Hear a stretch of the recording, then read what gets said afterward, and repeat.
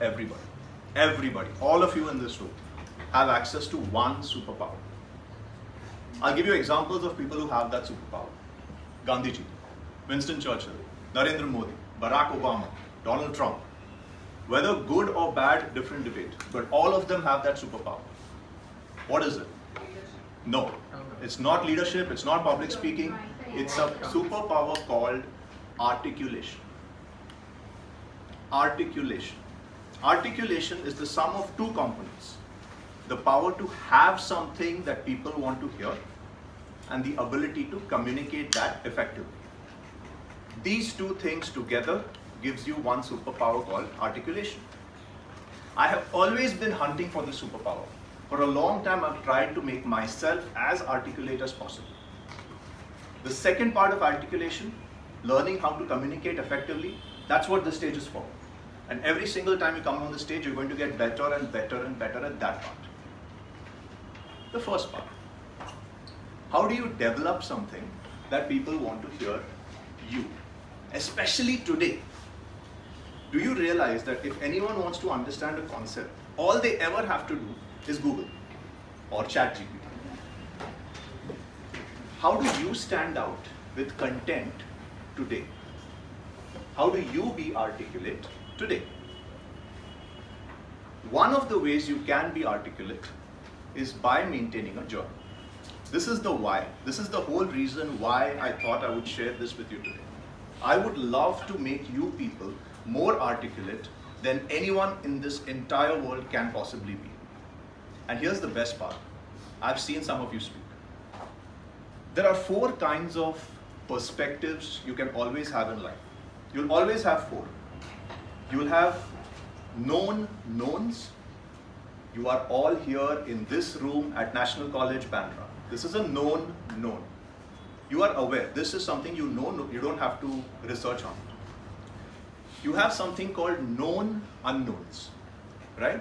You know that you cannot come here and build a nuclear fusion reactor right now.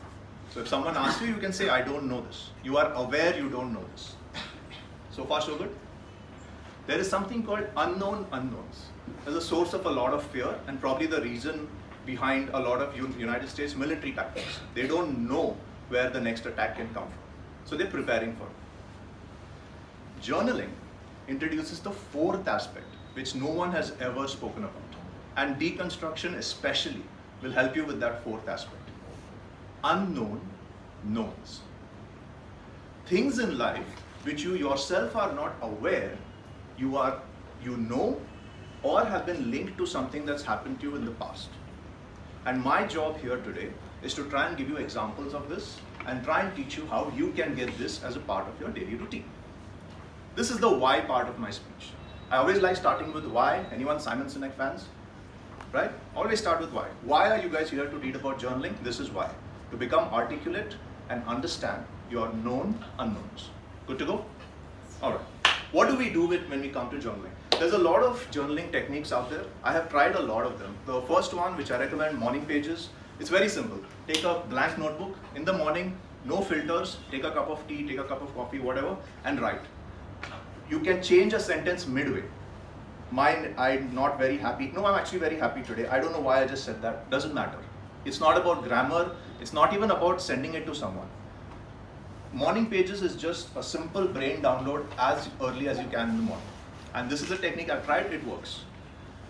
Bullet journals, it's a simple 200 page notebook you can keep. It will track your entire thing. There's a simple two minute video on YouTube. I won't go into too much detail with that. Then comes the interesting part of journaling and a subset of that is deconstruction. Very recently, I began taking notes on the basis of actionability, right? For example, all of you are writing something as I'm saying today, right? You're all writing something right now. What if you never open that book again? And how many times has it happened to you that you've written down something, but you just never open that book again? How many times? When you take notes on the basis of actionability, that won't happen. And I'll tell you how. There are two acronyms I'm going to use. And to be very clear, these are not my acronyms. This is a gentleman called Tiago Forte. These two acronyms became a very central theme in how I take notes and how I start writing. The two acronyms are PARA and CODE. I'll explain both of them in absolute detail and this can be Googled, so don't worry about writing it down. There are four aspects of your life which are always important to you, right? Projects, areas, resources, archive. P-A-R-A. Projects, uh, areas, resources, archive. Anytime you take a note, anytime, let's say you've taken a note, nuclear fusion is done using helium atoms. For some reason, you've written that as a note. If you are working on a project involving nuclear fusion, it straight, straight away goes into that project. If you are vaguely interested in nuclear fusion and someday you might like to research on it, it will go into resources. If you are working on it now, it's a part of your daily life, it will go into areas. And if you don't know what to do with it, it goes into archives. PARA is divided into the basis of time. If it's something that requires you're working on right now, it's a deliverable right now, it's a project. If it's something you're always going to work on for the rest of your life, it's an area. If it's something that may someday become an area, it's a resource. And if you don't know what to do with it, it goes into archives. Now here's the best part. I tested this on my office email. My office email, every email is grouped into a project, area, resource or archive. You will not believe me guys. I do not spend more than 30 minutes on email every day. Not more than 30 minutes. And uh, Outlook has those rules, right? I put in rules, it goes into those projects, areas, resources automatically. And I refine it. If I don't need it to go there, I'll refine it later. But I don't spend more than 30 minutes on email every day. If you want to test this, test it on your emails first and then try to do it into an actual thing. This was para. What was CODE? CODE is how you capture notes. Now, this is going to sound very geeky and fine, I'm, I'm okay with sharing this. You need to make sure there is no obstruction with capturing notes. No obstruction. You won't always have a pen and paper, for example. So I've spent some money and got a very high-end phone which has a stylus in it. Trust me, it looks really cheap when I take this out and start writing in front of people. I don't care, I just need to write. So I have a note phone with a stylus. I'm not telling you guys to buy one. I have a watch here where I can record voice notes. It automatically transcribes and directly syncs with my phone. Why am I telling you this? You never know when something important resonates with you. Never. And as soon as you remove those frictions, you will suddenly see that you are paying way more attention to the world and way more attention to what can possibly help you. And you'll suddenly find a lot of notes. The moment I started doing this, my desktop got cluttered massively. I had so many notes, so many notes, so many notes. It was maddening, but it was exhilarating because I had so much to do suddenly. Which comes to the second part organize. Organize into that para. Organize those notes that you capture into para. Try to automate it as much as you can. Try to do it manually as much as you can. But as a thumb rule, don't do it immediately. Never organize the moment you capture. Organize after two days. Because most of the time what you captured, it may have resonated with you then, it won't resonate with you later. Give it two days, at minimum give it two days. I give it a month. I organize all my notes once a month. Then comes to distill. Now this is the most important part of note taking, what I said about actionability and where journaling comes in very handy and where deconstruction comes in handy. And I'm going to speak about deconstruction shortly. Distill is whatever you have captured and organized can you distill it into four or five key takeaways so that you don't need to read the entire thing again? Just four or five important takeaways. And here, some fun artificial intelligence can help you. If you read an article and you want it summarized, just put that article in ChatGPT and say, write a four-word summary for me. Fine, do that, no issues. Try to distill everything you can into four or five important takeaways. The last one, which you guys can probably do very easily, express. Express how? Come here and give a speech about it. Come here and give a speech about it. When you are expressing, how many of you all have heard people say this? The greatest way to learn is to teach. Why? Because as soon as you express something, you have understood it way better than anyone else ever can. Because you are now taking on that responsibility of teaching someone. As soon as you have expressed an idea, you will never forget it. Trust me on this. She gave an introduction that I have apparently read all these books and Einstein and all that. Trust me, if I take an IQ test today with all of you guys, 90% of you would have a higher IQ than me. I'm not ashamed of saying that. 90% of you would probably have a higher IQ than me. The only difference is I've been doing this. Every single idea that I've read, I've captured into this idea which I call the second brain which Tiago Forte also calls the second brain. And then I developed my own technique called deconstruction. So far, so good. Too much information? Everyone okay? Everyone okay? Yes. Perfect. Let's move to deconstruction. Yes, let's take a break.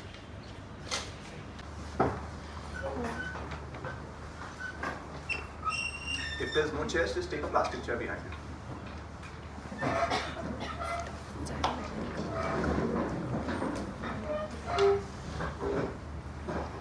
Okay. Now deconstruction. Again, let me start with the why. Why did this? Why do I use this technique? A lot. When I was growing up, I used to be perennially angry at the world.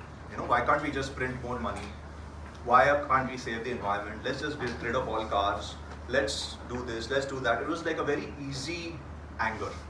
How many of us have done this? Easy anger, right? Then I decided to take one step back and say, look, maybe it's possible that the world is not evil. Maybe. If the world is not evil, why haven't we done that yet? Why haven't we just printed money willy-nilly? Then I understood about concepts like inflation. Then I understood concepts like the subsidies are more for poor people than for rich people. So whatever subsidies are right now being given, it's the poor who are enjoying it. We take them away, those are the first casualties in this climate war. So we go for a different way to save the world nuclear fusion. These kind of ideas are not easy. These kind of ideas require thought. And the only way to develop critical thinking, according to well-published studies, is to write. When you write, you develop critical thinking. But that is again a very easy idea. I decided to take it one step forward and I decided to try something which I'm calling deconstruction. What is deconstruction? Simple sentence, honesty is the best policy. How do I deconstruct this? I take the word honesty and I say, what is the textbook definition of honesty?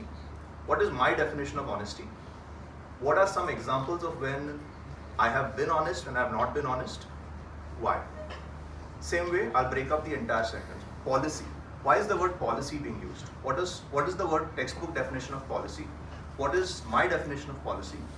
And why is this sentence complete with this particular word? You deconstruct. Imagine a building. When you are doing any renovations in your own house, right? What ends up happening? You are instructed one thing. Don't touch the support beams, right? I want to break down every concept to its support beams what are the support beams holding up this concept? Then let's add back the fat and see if it's needed. This was a simple deconstruction, but here is where I actually use it.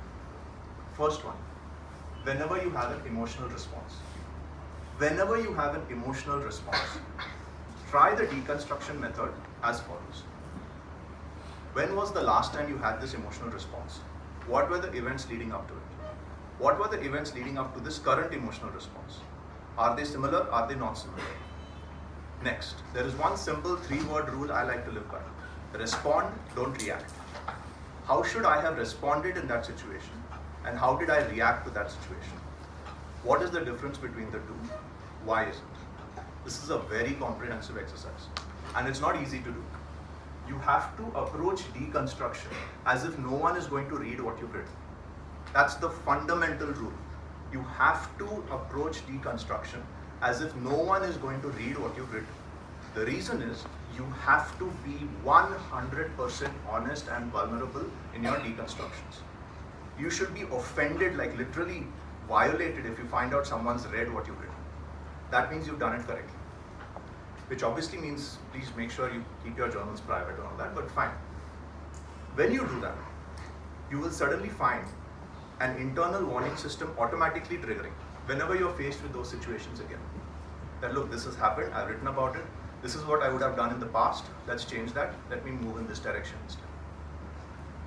How many people agree with this particular idea? Psychiatrists have published articles about it. An entire book on logotherapy was written by, by Viktor Frankl on this particular method. Deconstruction, deconstructing your emotional responses is one of the best ways to use deconstruction. How do you do it? what were the events that led up to it the last time? What were the events that led up to it now? How did I react last time? How did I react this time? How should I have responded? Always respond, don't react. How can you make sure you respond is one of the best ways to use deconstruction. Second one goals, basically. All of us have a vision of who we want to be 10 years from now, 5 years from now. More or less, it's something like this. Look, I want to be financially okay. I may maybe want to have a house, maybe a family, kids. Maybe I want to have travel the world. Maybe I want to do this. More or less around these, everyone's 10-year goals are centered. Some of you may go even further. You may want to be CEOs. Some of you may not want a family, you want to do this instead. It's fine. Can you deconstruct that? Can you write that goal as clearly as possible and understand that this goal is probably going to change and that's fine. But can you write it down the first draft and break down each word? I want to be CEO. What does CEO mean? What does it mean? Is, does it mean that I just want to be, have the position and the power? Is that it? Or do I want to lead the company into something? Do I want to be responsible for growth? Why? Just because to see if I could do it? That's fine. That's a good answer right? You, you, the point of deconstruction is not to be judgmental. If you if you are someone who needs that kind of gratification, that's fine. But at least now you know it. At least now you know that yes, look, this is what motivates me. Absolutely fine. Maybe you just want the money. Maybe you want to be in a money environment. Maybe you want to be in a money environment and hence you are trying to be a CEO. That's also absolutely fine. But deconstruct it. How much money do I need?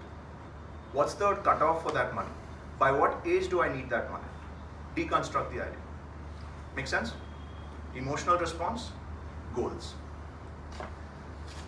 There is one dangerous aspect of deconstruction, and I would encourage you, strongly encourage you, to not try this until you have journaled for some time and used deconstruction for some time. But I would strongly urge you to do this. How many of you all are aware that I have a lot of unpopular opinions?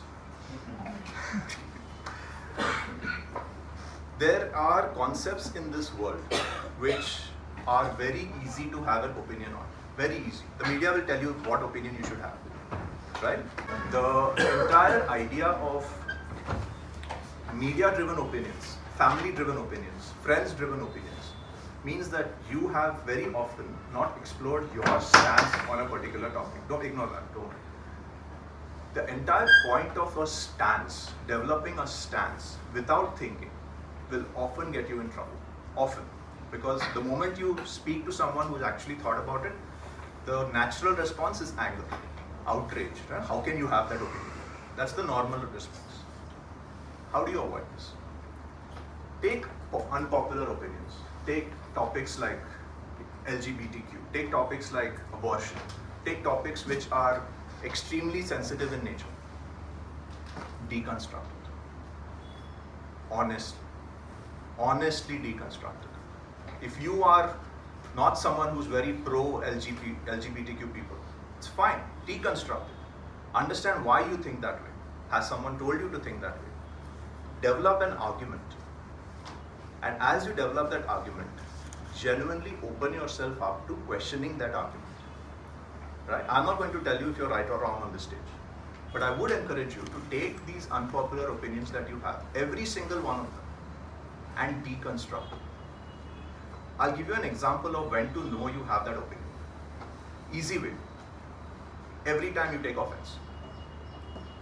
Think about it. Every single time you have taken offense, at least for the next 30 days, don't react. Respond by noting it down that look, I just took offense, this person said this, and go home and deconstruct. I challenge you in 30 days. On the 31st day, you'll have random people coming up to you and saying, You've changed a little bit, what happened? Why? The biggest lie anyone ever tells you about you is that you know yourself the best. It's the biggest lie in the world. They'll tell you that you know yourself the best. We know ourselves the worst we know ourselves the worst. If we knew ourselves, we would know exactly what we want in life. We know ourselves the absolute worst. The only way to get over that is by deconstructing ourselves. Find out the basic support pillars that make you who you are, and then add back the fat if needed. But what are those basic support pillars that make you who you are? Here are mine, since I have actually deconstructed. I'm always going to be honest. I know people in this room who've asked me for feedback and I've been honest, so you can vouch for this. I will be honest. I don't care if you stop being friends, but I will be honest with no matter what the situation is. I will always be patient. I will not lose my temper unnecessarily. I know, I'm sorry. But I will try my best to not lose my temper unnecessarily. I had to say sorry to my ex-wife. you will find virtues which mean a lot more to you than other people as you deconstruct yourself.